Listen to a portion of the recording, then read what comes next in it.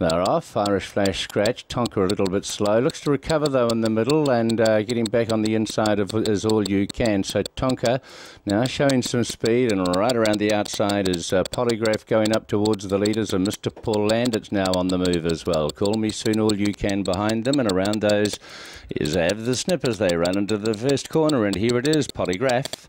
Polygraph's a clear leader from Mr. Paul Landit about four lengths away. Have the Snippers improving over on the uh, outside of Tonka the Middle, Call Me Soon. Over on the uh, uh, the uh, last one is Call Me Soon, and just in front of that is All You Can as they swing and go. And Polygraph and the red and white's a clear leader now. Call Me Soon running on on the inside. Mr. Paul Landit is uh, wider out. Tonka in the middle of them starting to put in some sort of effort the last little bit, but uh, it is Polygraph and Polygraph and Josie D'Souza straight to the front and all of the way. Too good has got there from Call Me Soon, uh, Mr. Paul Landit, and then All You Can. Tonka behind them, and uh, Av the Snip was the uh, last, and the uh, late scratch in was Irish Flash.